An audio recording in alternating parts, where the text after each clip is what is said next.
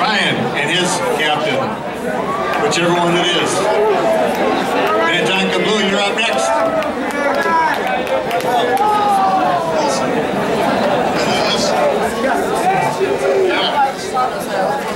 Um, all right, so you know, it sounds like most everyone's season started off a little rocky. Um, we started off fairly slow. I don't think we won a game until January, uh, but uh, did well in uh, both tournaments we had in January, winning the Wayzata tournament, and uh, you know, as these guys talk about 17, 18 players. We've got 12 skaters, but they're the 12 best skaters from Minnetonka. So this weekend, this weekend, look out because we've got three more wins. Uh,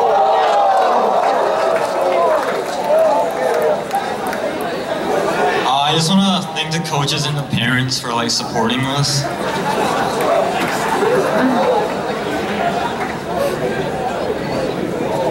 And uh, uh, like one of our biggest challenges this season was uh, having 12 skaters because like if we're missing like three players, we would have like less than two lines. So it's always a tough game, you know.